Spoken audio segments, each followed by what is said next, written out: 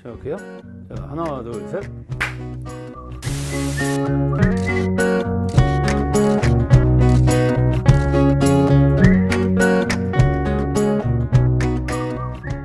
제가 이제 어, 탄신하신 지가 제가 49세잖아요. 말 그대로 패밀리 가족이죠, 뭐.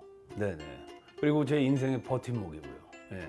되게 론리할 때 항상 지켜주는 담장 같은 역할. 반려동물을 선택을 할 것인가, 아니면 어, 사랑하는 여자를 이제 선택을 할 것인가라고 이야기했을 때 그 상황이 되면 솔직히 어떻게 될지 모르지만 전 반려동물을 예, 선택을 할 겁니다. 보상은 없습니다.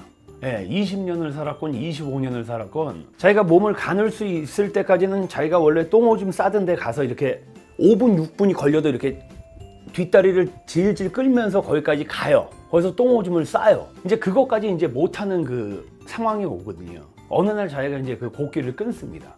상렬아, 그동안 한 17년 동안 너무 고마웠어. 내가 갚을게. 그러면서 딱 눈을 감아요. 그래서 목이 이제 툭 떨어지죠. 말은 못해도 그 눈빛에서 그동안 너무 고마웠어, 감사했어 전달이 되죠 마음이. 저희 그 가족들이 다 좋아하니까 그는 제가 어, 없을 때는 저희 둘째 형님이 또 봐주시고 또 뭐 둘째 형님 또 일이 있으시면 저희 또 조카가 와서 또 봐주고 왜냐면 또 저도 다니면서 또 사료값은 벌어야 되니까 네. 나이 먹은 이 강아지들 있죠 저는 걔네가 달라 그러는 건 거의 다 줍니다 해장국을 먹는데 빨간 거예요 근데 거기에 이제 뭐 어, 간천엽 같은 게 들어있어요 근데 천엽을 되게 먹고, 먹고 싶어요. 근데 이제 쓱 달라 그러면 이렇게 주거든요. 잘 먹어요. 그러면 줘요. 만들어서 이렇게 먹이는 것도 되게 뭐 중요하고 뭐 제품 나와 있는 거 좋은 거 이렇게 사서 먹이는 것도 좋지만 자기가 원하는 거 많이 해주는 게 저는 맞다라고 생각해요. 예전엔 그 바깥에서 그, 그 허름한 그 개집에서 그, 그 뭐야 물그릇도 다 땡땡 얼어 있고 그 뭐 먹는 것도 다 얼어 있고 근데 이제 그런 친구들 보면 어린 나이에도 이제 불쌍한 거야.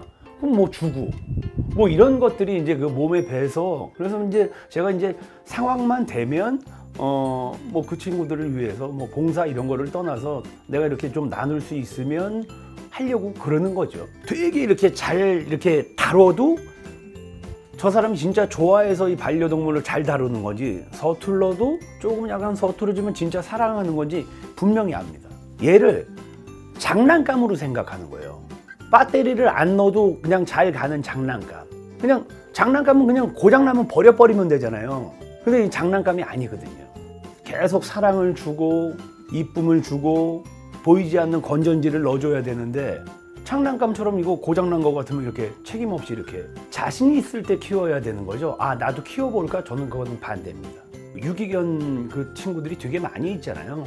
그 친구들을 그 데려다가 입양을 해서 그렇게 키우는 게 저는 예, 되게 좋다고 생각을 합니다. 그렇게 인연을 맺었던 그 주위 분들 보면 열이면 열, 백이면 백 다 정말 잘했다.